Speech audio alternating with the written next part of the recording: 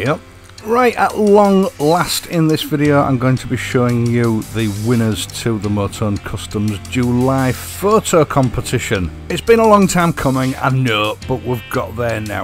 Thanks for bearing with me and Motone Customs on this. But just before we get on to that, I'd like to take a look at Motone Customs' new Gemini bar end finishers. Now, we've all seen pictures of things, you know, products that look really nice, but then when we've seen them in real life, it's left us cold. You know, it just doesn't live up to expectations in the flesh. And I'm presuming that everyone's the same as me because sometimes I see photographs of things that really don't float my boat. These bar finishes being one of those things, and even when I unpack them, I wasn't really that sure about them. But then you stick them on a bike, and all of a sudden it's like they've been transformed, and somehow it just works, it fits. These Gemini bar end finishers gave me that experience. I really wasn't sure about them when Sam Fest showed me the sort of mock ups of them a year or so ago.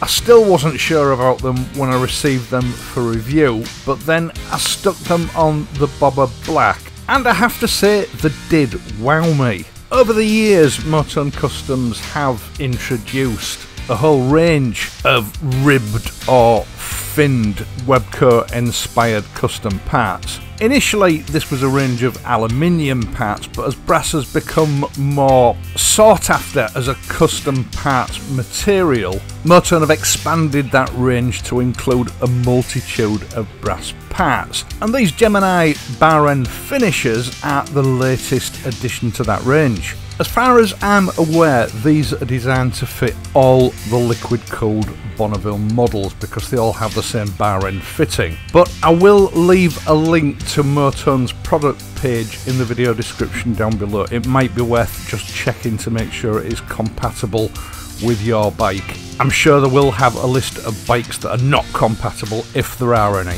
As has been the trend with Motone Customs of late, these have been cast from a high quality brass and then machine finished and hand polished. The reason for this is that Motone Customs was having a huge problem with counterfeit parts, and the high costs involved in casting parts like this usually discourages counterfeiters from reproducing the parts. The Gemini comes as a complete kit including two stainless steel screws and obviously fitting is an absolute doddle it just takes a few minutes. In fact i'm not even going to explain it to you because it's so simple it's just screwing a screw in. And i'm just going to let the footage play in the background while i'm talking. Now for the purposes of this video I just removed the bar and mirrors from the Triumph Bonneville Bobber Black purely so that I could show you an example of them fitted to a bike. I could just have easily have fitted them to the T120 but the Bobber Black was more accessible in the garage and I did have some prototype parts from Motone for the Bobber Black to try out so you know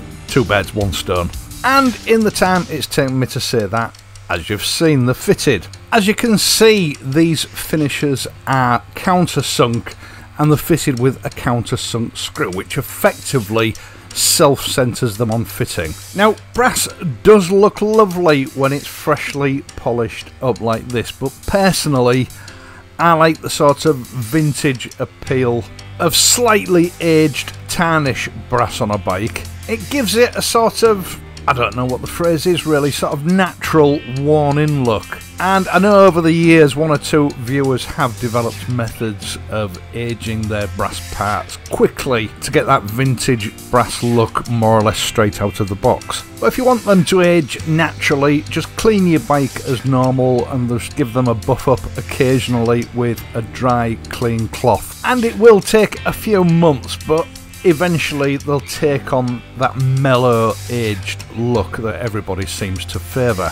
me included. But if you do want them to stay shiny, it's not a major hassle, a quick buff up twice a year with some Meguiar's next generation polish and your brass parts will stay looking as good as new. And I think that demonstrates the unique properties of brass. It's unlike any other metal. If you ignore and neglect bare aluminium, it turns into a fuzzy mess. Brass, on the other hand, just mellows into a different state of gorgeousness. Right, before we move on, don't forget all viewers of this channel are entitled to a channel exclusive 12% discount from Motone Customs using a discount code. The current discount code is Uncle Stu Rules, and I'll leave that in the video description down below along with the link to the Gemini bar end finishes from Motone Customs. Right, let's get on with the photo competition results.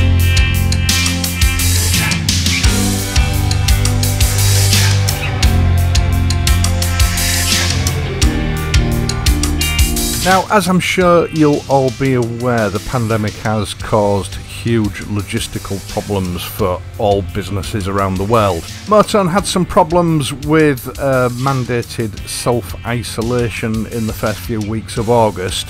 And then, of course, since then, there's been some major problems with haulage around the world, all of which have played a huge part in the delay in getting these photo competition results published. And then to add insult to injury, apparently there was a record number of disqualifications in this competition because people quite simply had not adhered to the rules. So, without further ado, starting off with the runners up prizes, each of the people displayed in this runners up section will receive a £50 e voucher from Motone Customs to spend against any Motone products currently on their website. Here we go.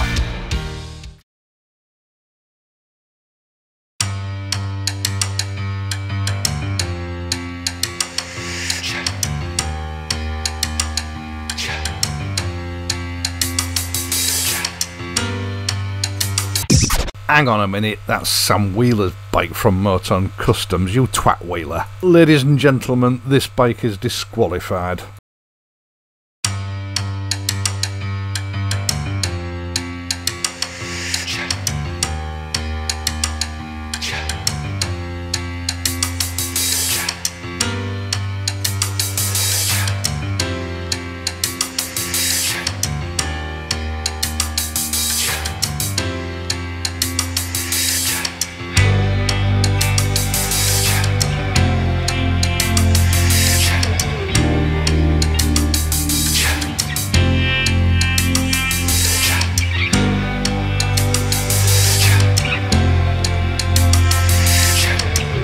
Very nearly got past me. It's because I'm always winding him up that he looks like one of the Bee Gees. Maurice Gibbs.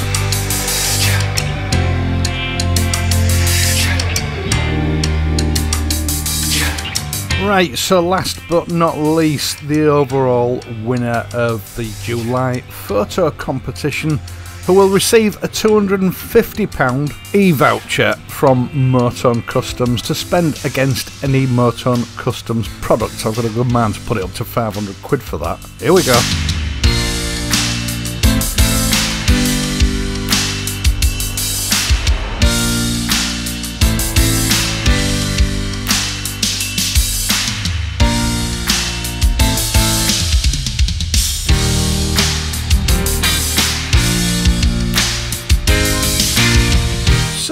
There you go. Congratulations to Stephen Hall and all the runners up. I'm just going to let the music play out now with a slideshow of other competition entries that were passed on to me but unfortunately haven't won. But Maurice obviously thought that they were worthy of publication on this video. Now, if your bike doesn't display properly, that's your fault, not mine, for not supplying it in a 16:9 landscape aspect ratio. I've done the best I can. Once again, thank you so much for watching. I really do appreciate it.